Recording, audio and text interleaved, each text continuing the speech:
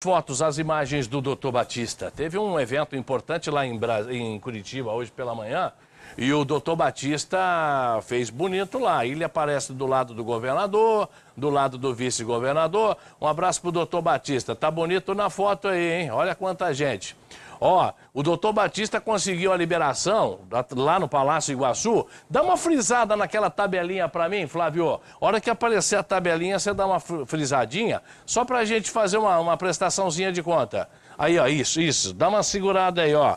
Ele conseguiu um veículo para Engenheiro Beltrão, para Itambé, e ambulância para Maringá e para Paysandu. O restante foram vans, Ângulo, Astorga, Cambira, Floraí, onde mais Jandaia do Sul, Japurá, Jussara.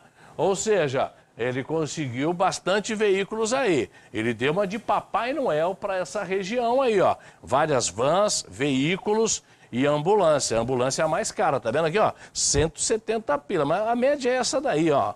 Mas bacana, pelo menos está empenhado e trabalhando de deputado como ele quer, o jeito dele lá. Tem imagens de fora? Vamos dar uma olhada?